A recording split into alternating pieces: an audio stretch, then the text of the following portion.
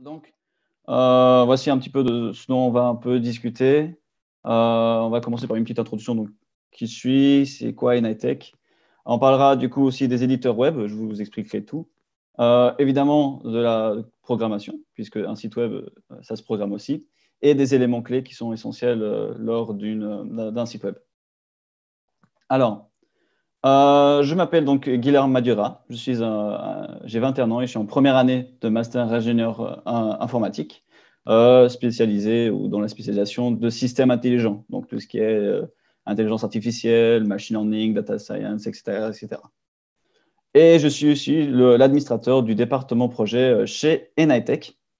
Alors, Enitech est une junior entreprise basée et fondée à l'université de Liège, euh, mais nous sommes une entreprise gérée que par des étudiants.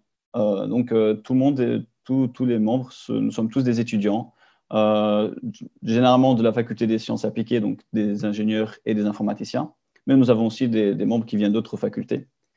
Et nous, réalisons des, vrais projets. Donc, ce pas des faux projets, ce pas des, projets pour faire semblant. c'est des vrais projets pour des, vrais clients. Euh, donc des clients qui ont de nécessité, ça peut être une grosse boîte, ça peut être des particuliers, ça peut être des indépendants, etc., qui viennent nous voir avec euh, donc différents euh, types de projets. Alors, notre but, c'est évidemment de, on va dire d'une première part, développer les contacts et surtout la collaboration entre les entreprises et les étudiants. C'est très important puisque quand, en étant étudiant, parfois on voit le, monde de l'entreprise un peu de, de, loin. Et du coup, avoir déjà un premier contact, c'est toujours déjà pas mal. Ensuite, c'est évidemment d'aider les étudiants à la création et à la réalisation de projets. Comment est-ce qu'on gère un projet euh, de A à Z? Donc, euh, depuis la, on va dire l'idée jusqu'à vraiment avoir un produit final et tous les éléments qui s'y rapportent, donc la gestion du, projet, suivi projet, le suivi de la qualité du projet, etc. Et encore une fois, c'est familiariser les étudiants avec la gestion euh, entrepreneuriale et surtout à caractère technologique, puisque nous, ce que nous réalisons, c'est des projets plutôt dans, évidemment dans la technologie, et c'est surtout, donc, on va dire, des sites web et des applications mobiles. En ce moment, c'est très la mode, les applications mobiles. Mais on a essayé également euh, les sites web qui, euh, qui émergent euh, de plus en plus. Surtout, vu la situation actuelle, bah, tout le monde veut des sites web maintenant, parce que c'est un peu la seule façon d'avoir une visibilité, du moins très rapide, en dehors de, évidemment, le présentiel, mais dans le digital. Et maintenant, on essaie de s'introduire dans tout ce qui est data science et dans l'intelligence artificielle, slash le ML, ça veut dire machine learning. Euh, que beaucoup d'entreprises ont beaucoup de données qui ne savent pas comment vraiment les exploiter. Et donc, nous, euh, ce que l'on propose, c'est évidemment d'analyser les données, d'en tirer des conclusions, de faire des modèles qui peuvent prédire certaines euh, quantités, etc. donc, comment est-ce que NITech est organisé? Donc, nous avons évidemment un conseil d'administration hein, avec différents, le président et les différents administrateurs. chaque administrateur est donc chef d'un département euh, ça peut être le comme le mien, moi je suis l'administrateur du département projet, on a le département qualité, département euh, infrastructure, le département euh, événementiel, relations publiques et la trésorerie. ce que moi, dans mon département, on fait, donc dans le département projet, nous, on gère les, projets. Donc, dès le contact avec le client jusqu'à, on va dire, le, dernier contact où on donne le projet, on, donne le, produit final. Et nous, on est un peu le pont entre le client et un étudiant que nous, on, embauche pour réaliser le projet. Donc, notre philosophie aussi, c'est d'essayer de, dynamiser la région de, Liège. Et donc, c'est d'embaucher des, étudiants euh, qui sont motivés et qui veulent avoir déjà une première expérience euh, presque, on va dire, semi-professionnelle, hein, euh, en réalisant des, projets dans, dans, le web, dans, l'application mobile, etc. Et du coup, c'est pour ça que j'appelle ça des jobistes. On appelle ça des jobistes. Et donc, nous, donc, le chef de projet va gérer le jobiste pendant tout le, développement du projet.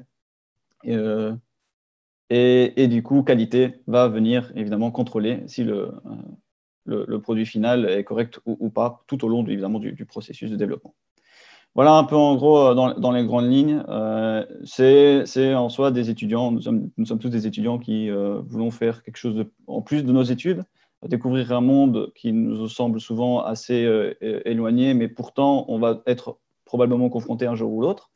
Et donc c'est toujours bien d'avoir une première expérience euh, vraiment euh, de, ce point de vue-là. Voilà. On va passer du coup aux éditeurs, aux éditeurs web. Alors, le but évidemment, c'est de faire un site gratuit. Et bon, parfois, on se dit gratuit, faire un site web gratuit, est-ce que c'est vraiment possible? Alors, des éditeurs web, il y en a plein. Et on va dire l'avantage, c'est que c'est très facile à utiliser sans devoir apprendre à coder. Donc, c'est juste appuyer sur des boutons, faire des clics. Euh, généralement, ben, c'est des, on va dire des services, il y a des packages. Et du coup, on, va dire l'hébergement est quelque chose qui est inclus dans le cloud, il n'y a pas de souci, normalement, il n'y a pas de problème. Et il y a vraiment beaucoup de choix. C'est vraiment quelque chose que. il y a vraiment beaucoup de choix. Euh, et chacun avec ses inconvénients et ses avantages. Euh, mais comme c'est gratuit, il faut que les gens qui proposent ces éditeurs web, mais il faut trouver il faut qu'ils doivent manger. Donc, euh, il y a toujours des inconvénients, toujours. Euh, que ce soit des publicités qui apparaissent aux visiteurs, ce qui n'est pas tout forcément euh, cool pour les gens qui visitent les, sites web.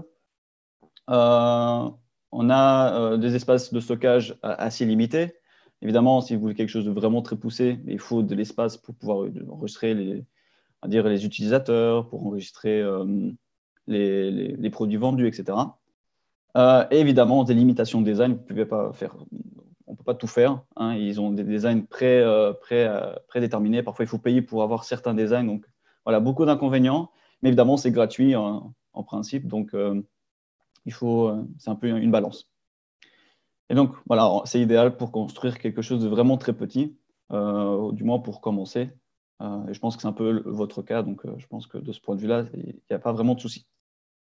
Donc voilà quelques exemples d'éditeurs. On connaît bah, Wix, c'est peut-être celui qui vous saute le, on va dire le plus facilement, euh, qui vous saute directement parce que les publicités de, Wix, on, en voit tout le temps sur YouTube. Euh, mais on en a, il y en a plein d'autres. Euh, Webnode, Weebly, Jimdo, Ucraft, juste pour en citer quelques-uns. évidemment, chacun avec ses inconvénients et ses avantages. Je pourrais faire littéralement trois heures sur quel est l'inconvénient et les avantages de chacun. Je pourrais vraiment facilement le faire, mais je vous ai mis un petit lien tout en bas, que vous pouvez visiter.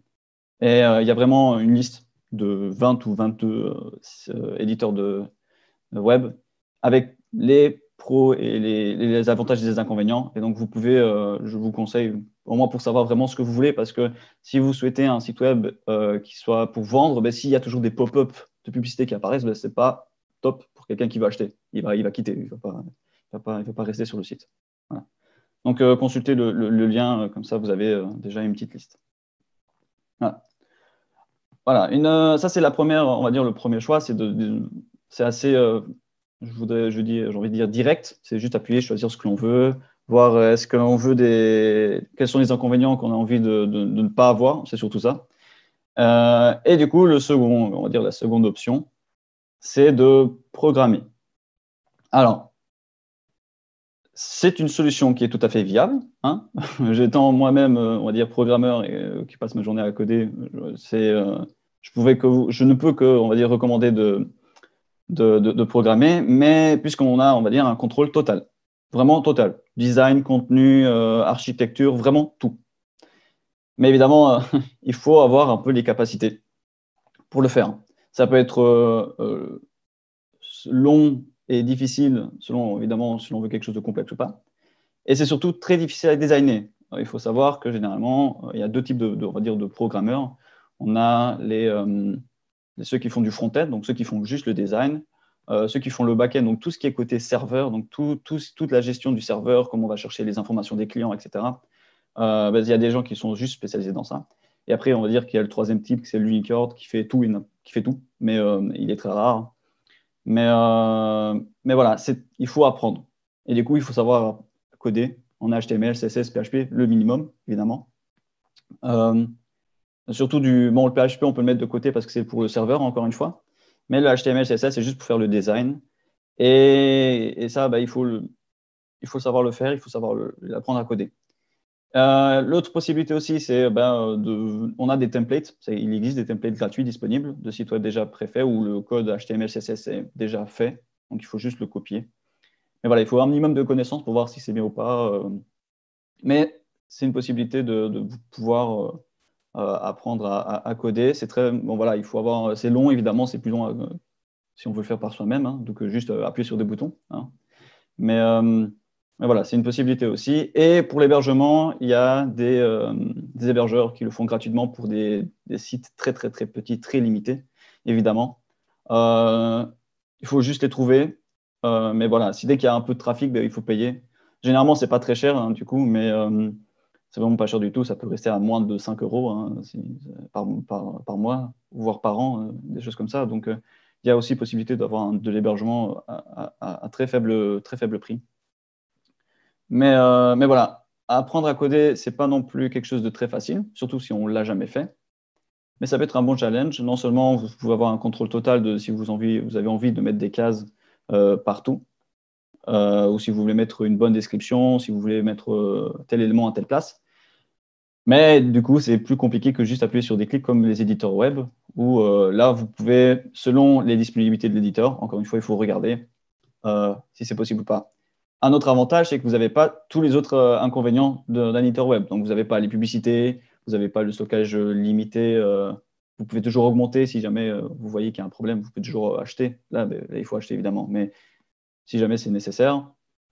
Mais vraiment, le, gros avantage, c'est de ne pas avoir de publicité pour les visiteurs. Parce que les publicités pour les visiteurs, c'est vraiment euh, quelque chose que ben, vous, savez déjà, déjà que quand vous rentrez sur un site web, vous devez déjà accepter tous les cookies, etc. Ça on prend déjà beaucoup de temps. Donc si en plus on doit, avec les publicités, attendre une minute ou des choses comme ça, ça devient très, très, très ennuyant pour, pour un visiteur. Voilà. Euh, on va maintenant passer aux éléments euh, clés, du moins quelques éléments qui devraient apparaître. Euh, je regarde un peu l'heure. Qui devraient apparaître sur un, site web, ou du moins les, ceux qu'un visiteur lambda s'attend. Et c'est surtout que si le but c'est de vendre un produit, mais il faut que le client sache ce qu'il doit faire, ou du moins non seulement de captiver son attention, mais de, on va dire dans un deuxième lieu, de pouvoir évidemment euh, que, euh, que, le, pardon, que le client euh, achète le, produit. Voilà, donc évidemment, le truc le, plus important, c'est le design.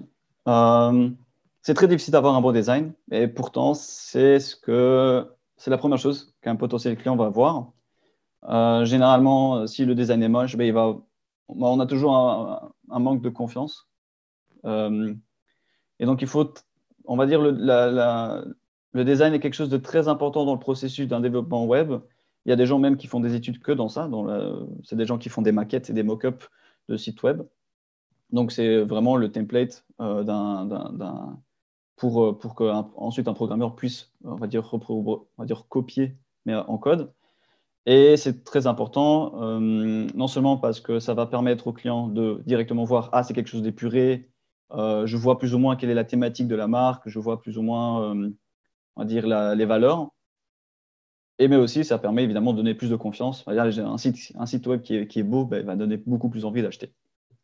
Euh, alors, des aspects très importants, et je l'ai d'ailleurs mis en gras, c'est l'ergonomie et l'esthétique.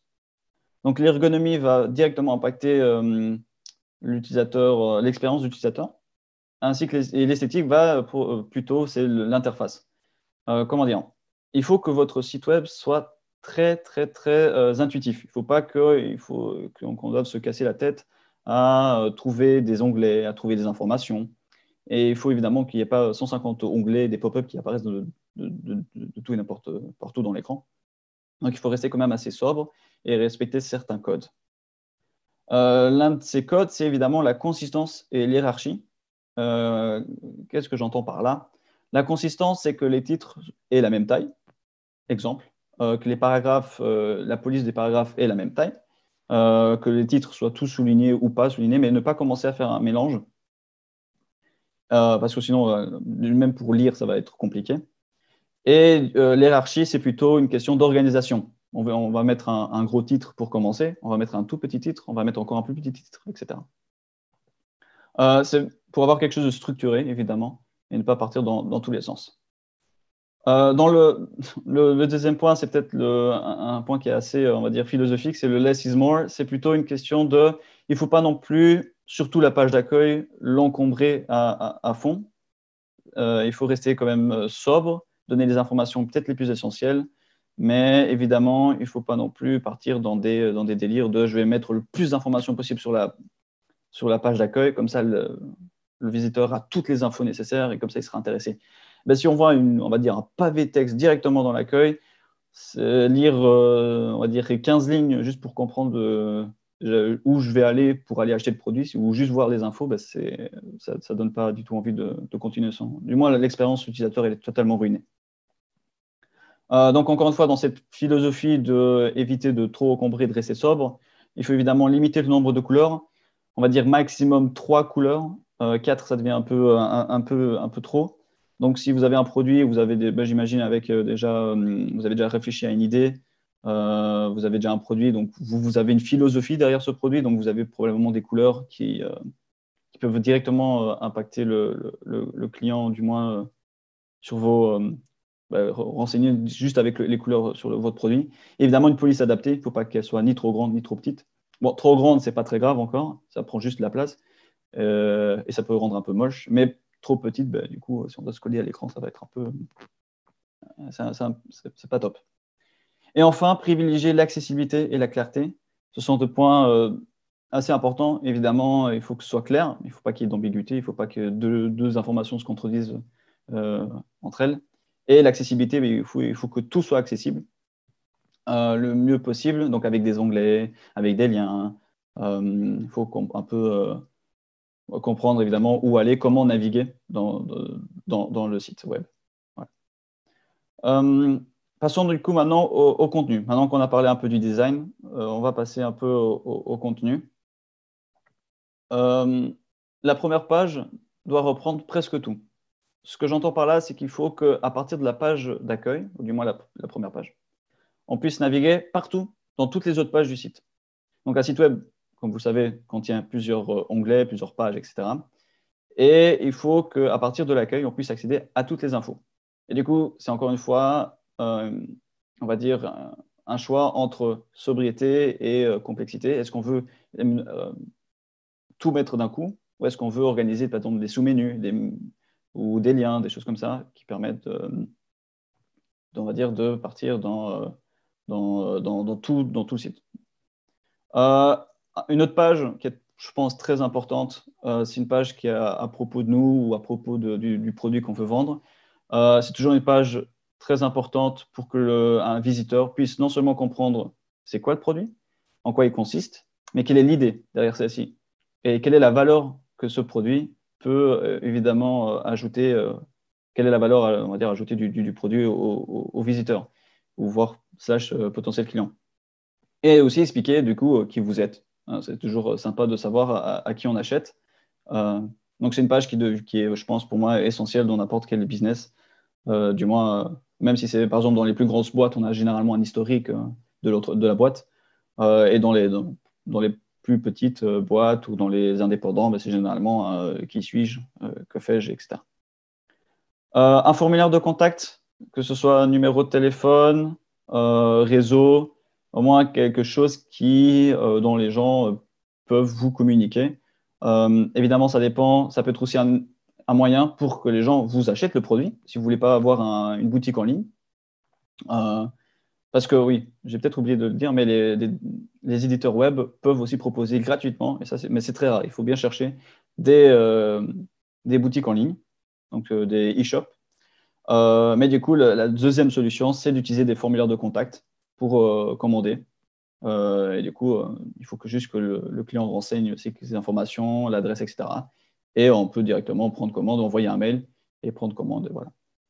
Euh, euh, oui, donc du coup, un moyen que les visiteurs puissent vous euh, communiquer avec vous, prendre contact s'ils ont des questions, etc. Aussi peut-être une bonne chose aussi de mettre une petite page FAQ qui répond aux, questions peut-être les plus posées quand vous commencez à voir qu'il y a beaucoup de gens qui se posent des questions. C'est soit votre site web manque de certains contenus, ou alors vous mettez juste une FAQ qui répond à toutes ces questions et c'est réglé. Donc voilà, deux, trois pages grand max pour, euh, pour vendre un simple produit. Pas besoin de faire 45 euh, pages. Hein. c'est euh, la page d'accueil, page de, à propos de nous et un formulaire de contact ou une page où il y a toutes les infos pour contacter ou pour commander. dans le contenu, j'ai mis responsive design. C'est, on va dire, à cheval entre contenu et design. Le responsive design, c'est un ensemble de techniques, on va dire de, de techniques de programmation, euh, qui permet au site web de, se, on va dire, de bien se mettre sur toute taille d'écran. Donc normalement, là, vous êtes en train de, probablement de regarder soit sur un téléphone, soit sur une tablette, soit sur un ordi, ou alors sur une télé, mais bon, voilà. Euh, il faut que le site web rentre bien sur toutes les tailles d'écran, que ce soit les plus petits téléphones comme les plus grandes télés. Hein. Euh, bon, les télés, c'est rare, de, mais maintenant, avec les, nouvelles télés connectées, les télés qui sont connectées à Internet, c'est tout à fait possible. Hein. Donc, il faut évidemment prendre ça en compte.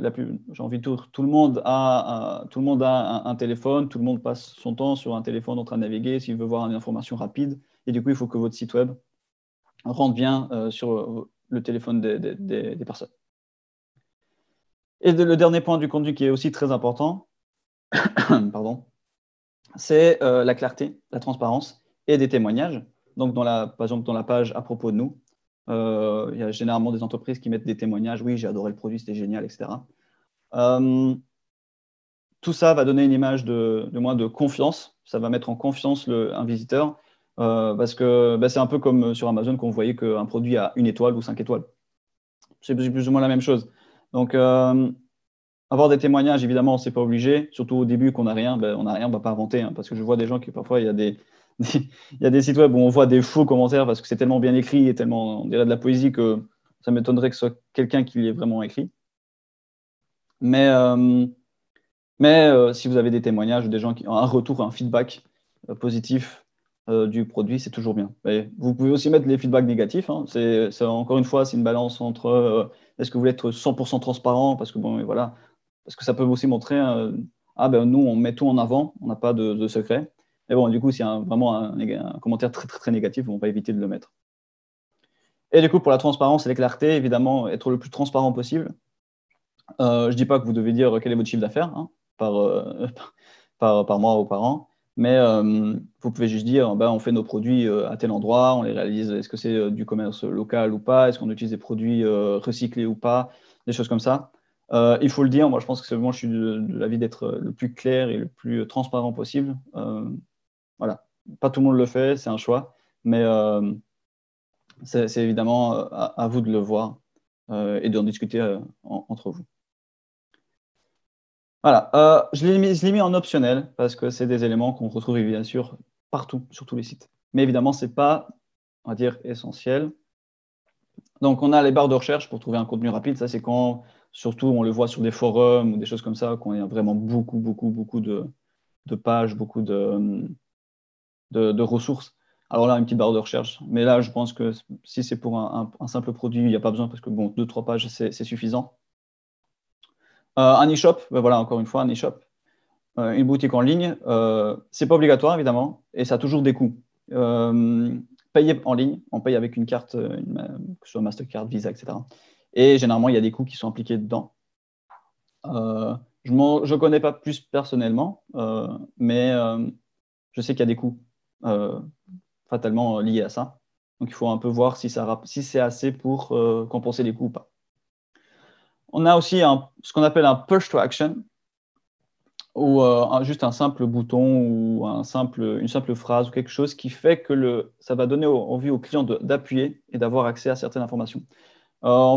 exemple, sur l'ancien site de Tesla, il y avait une petite flèche en bas de l'écran, dès l'accueil, tout en bas de l'écran, et la flèche, je pense qu'elle faisait un, petit mouvement, de, qu'elle scintillait un peu.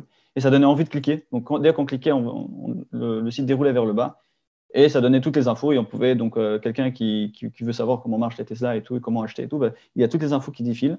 Et on a envie de continuer à scroller. Donc, euh, ça devient très primordial, évidemment. C'est une bonne technique de. Il faut un élément qui attire l'attention et que les gens cliquent et que ça déboule euh, soit vers un achat, soit vers une explication du site, pardon, du produit.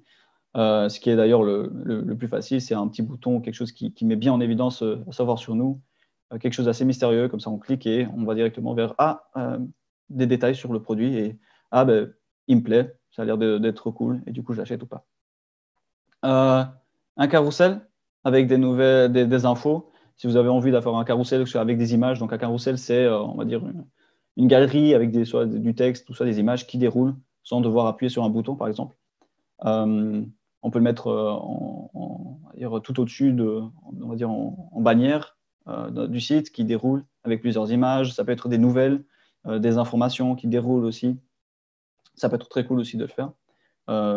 ça permet d'avoir, si vous voulez mettre plein de photos, mais que vous ne voulez pas encombrer, ben c'est une bonne, dire une bonne alternative. Et du coup, une newsletter. Une newsletter, c'est bah, plutôt pour quand on a des produits, mais on va dire de saison, et qu'on veut rappeler un client, un ancien client qui a commandé, bah, qui s'est abonné à la, newsletter, parce que c'est maintenant c'est obligé, il, faut, donner l'autorisation, hein, il faut donner le, consentement de recevoir des, newsletters. Mais si le, client a accepté de recevoir des newsletters, ben, si vous vendez un produit ou vous avez un nouveau produit et que vous voulez directement envoyer un, mail à tous les gens qui ont décidé de recevoir vos mails, c'est une bonne technique, ça peut s'implémenter aussi euh, assez facilement. Euh, un autre point qui est aussi maintenant de plus en plus courant, c'est les petits aides robots, donc les petits, euh, petits où on peut juste poser une question ou un commentaire et ça répond directement avec des réponses déjà soit prédisposées ou alors c'est une intelligence artificielle qui, qui essaie de, répondre à, votre place, etc. Ça se fait de plus en plus. Bah, maintenant, c'est pas très évidemment très courant, mais ça se fait de plus en plus et c'est toujours un, petit plus pour des gens qui ont beaucoup de questions. Euh, après, voilà, encore une fois, si c'est un produit simple et si vous êtes assez clair, normalement, il n'y a pas besoin. Et euh, voilà, c'est quelques-uns. Il y en a vraiment beaucoup, beaucoup, beaucoup, beaucoup, beaucoup. On pourrait passer vraiment euh, beaucoup de temps sur ça. Mais, voilà. Moi, je pense qu'on a fait le tour, évidemment. Moi, je pense que maintenant, je vais m'arrêter là. Et euh, je pense qu'on propose de passer peut-être aux questions, si vous avez des questions. Vous pouvez aussi me contacter si vous voulez savoir plus à propos de moi ou à propos plutôt d'Enitech aussi. Euh, vous pouvez toujours m'envoyer donc un, mail à info.enitech.com ou alors visiter notre site web aussi. Vous pouvez aussi visiter notre site web. Euh, donc voilà, j'espère que ça n'a pas été trop, trop long. non, du tout. C'était très chouette. Merci, merci beaucoup.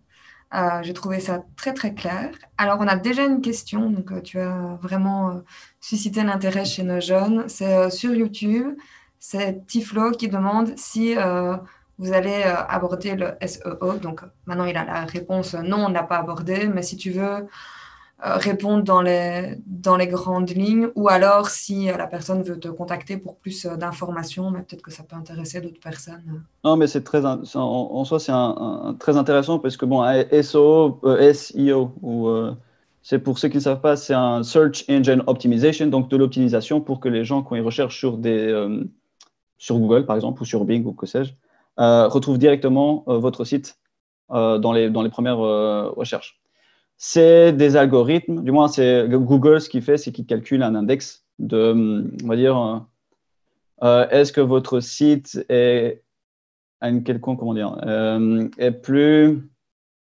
apte à correspondre à ce que la personne qui a recherché souhaite. Donc, par exemple, si vous mettez des mots-clés, et ça se fait beaucoup dans la, comment dire, c'est une étape qui se réfléchit pendant la programmation. Généralement, le SEO est impacté par les titres des images, par exemple.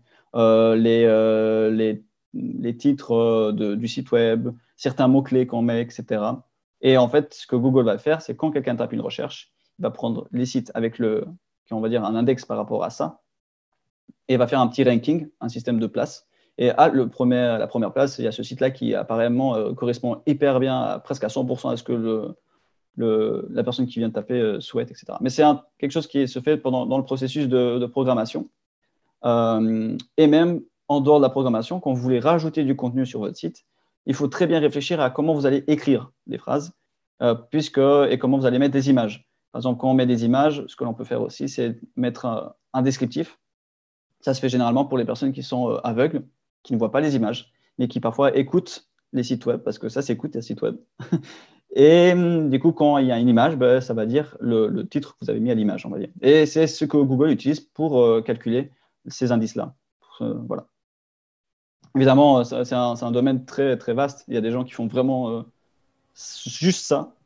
Mais euh, si jamais tu veux aller un peu plus loin, tu peux me contacter, il n'y a pas de souci. Alors, tu suscites vraiment l'engouement parce qu'on a des questions donc, sur YouTube, euh, dans le Zoom et sur Facebook. Manifestement, ma collègue Marie me dit que tu as ton fan club. Donc, c'est super chouette. Vraiment, merci à tous de participer. Et donc, euh, sur Zoom, on a, on a Gaspard qui te demande euh, ton avis par rapport euh, à WordPress. Alors, WordPress, c'est bien, mais je, je, pense qu'il faut directement, je ne sais pas, je ne m'avance pas, mais je pense qu'il faut payer directement. Ce n'est pas gratuit. Mais c'est très, très, très, très, un, prix très faible qu'il faut payer par mois. Je pense que c'est aux alentours des 3, 4, 5 euros. Je ne suis pas sûr. C'est bien, c'est encore une fois quelque chose de facile à mettre en place si on ne veut pas quelque chose de compliqué. Si on veut un design qui est déjà disponible et qui est gratuit sur WordPress, c'est très très bien. mais si on veut quelque chose de compliqué, ben là, il faut vraiment savoir coder. Il faut même savoir coder pour WordPress. Ça existe des gens qui codent que pour WordPress. Mais c'est une bonne solution. Et ce qui est bien avec WordPress, c'est qu'il y a plein de modules qui sont gratuits et qui sont, déjà pardon, on va dire, préparés. Par exemple, si on veut un, un e-shop c'est juste appuyer sur un bouton, programmer deux, trois, euh, configurer deux, trois trucs, et c'est nickel. Euh, si on veut euh, un système où les gens peuvent se connecter avec un identifiant unique, etc., et mot de passe, il y a un module qui est déjà fait pour ça. donc c'est très pratique. Mais du coup, je pense qu'il faut payer par mois, selon évidemment les, besoins. Mais c'est très bien. Hein. Je, faut pas non plus. c'est aussi un, très bon éditeur, éditeur de texte. C'est vrai que j'en ai pas parlé, mais c'est un peu à part. Mais c'est vrai que WordPress permet du moins de déployer très rapidement un site web. Parfait, merci. Alors, toujours sur YouTube, on a Ama Chanel qui te demande euh, si tu connais des sites qui proposent de créer des boutiques en ligne toujours gratuitement. Alors, comme ça, euh, je dirais que non, je ne connais pas comme ça. Je... Parce que, bon, nous, chez Nitex, ce qu'on fait, c'est qu'on les fait. Ou alors, on, propose des, solutions, des alternatives. Mais euh, dans la liste que j'avais donnée tout au début, du moins le lien il y a plein de sites euh, et il y a les, avantages et les inconvénients. Et je sais que dans certains avantages, j'ai vu qu'il y avait des, sites avec des, euh, une boutique en ligne disponible. Maintenant, est-ce qu'il faut le payer ou pas? Généralement, euh, moi, ce que je conseillerais, c'est de mettre des images et de mettre évidemment un descriptif et que les gens puissent vous envoyer un mail et commander. Je pense que ce serait beaucoup plus simple. mais voilà, après, une boutique en ligne, pourquoi pas? Tout est possible aujourd'hui. Alors, on a aussi, comme tu parlais, euh, des éditeurs, des éditeurs pardon, avec WordPress. On a Raina qui demande euh, si les éditeurs proposés au, début, euh, on peut créer notre site à partir de ça. Donc, je suppose que c'est la liste des différents éditeurs que, tu avais proposés. Si on peut, les, les j'ai pas, pas compris la question. Donc, c'est bonjour les éditeurs que vous avez proposés au début. Est-ce qu'on peut créer notre site à partir de ça? Oui, oui, donc les, ceux que j'ai montrés, du moins les, la petite liste. Attendez, si je reviens sur. Euh, mais pas. Mais si, si, vous pouvez créer euh, tout ce que j'ai montré au début. Voilà.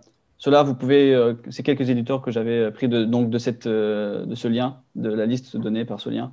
Et vous pouvez créer un, site web gratuit. évidemment, il y a des inconvénients dont j'en ai ai parlé, mais oui, vous pouvez. Alors, on a aussi Max qui demande, euh, c'est super intéressant, si on peut créer un mail automatique. Donc ça, je suppose que c'est plus dans les optionnels dont tu parlais à la fin de ta présentation. Oui, alors c'est même pas très compliqué. C'est une ligne de code. donc voilà, après, c'est une ligne de code. Euh, envoyer un mail à pour envoyer directement, euh, donc du moins si c'est pour une commande et que vous voulez recevoir le mail. Si c'est pour envoyer un mail pour une newsletter, ben là, ça peut aussi se programmer, ça peut se faire aussi. Je pense qu'il y a des modules euh, sur WordPress, etc., qui le font, des newsletters. C'est très facile. C'est vraiment très. Du moins, de ce côté-là, c'est facile pour quelqu'un qui s'y connaît. Euh, mais euh, oui, c'est, normalement, ce n'est pas très compliqué à mettre en place. Et justement, en parlant de codage, je fais la transition avec Hugo qui demande plus ou moins en moyenne combien de temps il faut pour apprendre à programmer. Bah, ça dépend c'est en, soi la programmation, c'est une logique à avoir. C'est, euh, en soi, c'est, euh, j'ai envie de dire, moi, quand je veux apprendre un nouveau langage, ben, j'apprends pas tout depuis zéro parce que je le connais déjà. Et du coup, c'est juste, c'est un peu comme apprendre une langue. Quand on a appris beaucoup de langues, ben, on sait le faire. On sait apprendre une nouvelle langue assez facilement. Et euh, il faut juste revoir un peu comment c'est la grammaire, comment est le vocabulaire, etc. Mais comme on n'a jamais fait, ben, il faut apprendre tout depuis zéro, comme si on voulait apprendre à parler. En moyenne, je pense que je dirais qu'en 15 heures, 15-20 heures, vous avez déjà un très beau site. Je le dirais, en HTML, PHP, HTML, CSS, pas PHP. HTML, CSS. Si vous voulez quelque chose avec déjà du serveur et tout, évidemment, c'est un peu plus de temps. Mais je dirais, euh, pour être, euh, je suis vraiment euh, peut-être optimiste, hein, mais oui, 20 heures, on va dire. Parfait. Et on a, de nouveau. Ah, pardon, vas-y, vas-y. Non, je ne veux pas couper, mais il y a plein de tutos sur Internet. Il y a vraiment plein de tutos sur Internet pour ceux que, si vous voulez euh, cherchez, il y a vraiment plein de tutos. C'est comment coder. On a acheté un site web. Vraiment, vous prenez même des vidéos sur YouTube où vous suivez où il faut créer un site web de A à Z. Franchement, il y a plein de. J'ai envie de dire, on a de la chance de nos jours d'avoir accès à, toutes ces ressources-là. Alors, on a Gaspard qui demande si les éditeurs offrent l'hébergement ou euh, faut-il héberger le site séparément? Euh, Généralement, les éditeurs hébergent le site. Normalement. Évidemment, peut-être qu'il y a des exceptions, mais normalement, oui. Et ici, on a Buzzcar, toujours sur, euh, sur Zoom, qui demande que tu expliques de nouveau le push to action pour les choses optionnelles. Voilà. Alors, le push to action, ça peut être tout simplement un bouton qui est mis en, on va dire, en, évidence, qui va inciter un visiteur à appuyer sur le bouton et à effectuer ce que vous voulez que le, visiteur fasse. Si votre but, c'est de vendre un produit, ou d'abord de présenter le produit pour essayer de le vendre, ça va, euh, euh, en gros, ça peut être par exemple une petite flèche qui scintille ou qui, qui, bouge un peu, et qu'on appuie sur cette flèche, ça va faire défiler le site et on va arriver sur peut-être une description du produit ou une description de qui vous êtes, etc. Et ça va peut-être inciter plus facilement le client ou le visiteur à acheter. C'est, on va dire, un peu de la psychologie euh, pour essayer d'attirer, évidemment, de convertir le visiteur en client pour qu'il achète. Et euh, c'est juste un bouton, ça peut être une, flèche, ça peut être un, un pop-up ou quelque chose comme ça. Et il faut essayer d'être le moins intrusif possible. Euh, je ne sais pas si J'essaie de me souvenir d'un site qui est ça. Euh, je pense que Tesla l'avait, mais a retiré. Mais voilà, mais euh, c'est en soi, c'est un élément qui permet d'essayer d'attirer l'attention euh, du, du, du, visiteur pour qu'il appuie sur le bouton, par exemple. Alors, on a Noé qui, qui demande s'il vaut mieux acheter un nom de domaine ou bien laisser le lien de l'éditeur. Alors, euh, évidemment, c'est l'un des inconvénients des, éditeurs, c'est qu'il faut évidemment garder euh, le, nom de domaine. Euh, un nom de domaine, j'ai envie de dire, c'est pas cher, c'est 10 euros de l'année, si, on veut en, si on veut en avoir un personnalisé. Après, je ne sais pas si les éditeurs permettent de le faire ou pas. et si, si, les éditeurs le permettent, si les tarifs sont les mêmes que si par exemple vous passez par OVH, qui est un hébergeur qui vend des noms de domaine, ils vendent aussi l'hébergement plutôt qu'ils louent l'hébergement. Mais, euh, mais oui, moi je pense que si vous voulez quelque chose de personnalisé, euh, c'est mieux, juste avec le nom de l'entreprise ou le nom du produit, ou, voilà. Mais euh, si vous souhaitez, parce que bon, quand on a le nom d'entreprise, point, j'ai déjà vu certains qui faisaient trois, vraiment tout l'espace de la barre de recherche, ça fait quand même assez, du moins de la barre du réel, ça fait beaucoup quand même. Et donc, du coup, on a Morio qui demande, et euh, je suis sûre qu'il n'est pas le seul à se demander, bah, en fait, c'est quoi l'hébergement? Alors, un, site web, il faut qu'il apparaisse pour tout le monde. Pour qu'on puisse faire une recherche sur Google ou une recherche de, directement dans le lien d'URL et accéder à un site, il faut qu'il soit quelque part. Et en gros, ce qu'il va faire, c'est quand on appuie sur, quand on cherche un site et qu'on clique par exemple sur le lien pour entrer directement dans Google ou pour aller vers un, site, ce qu'on va faire, c'est pointer dans le cloud vers un espace qui est dédié à ce site.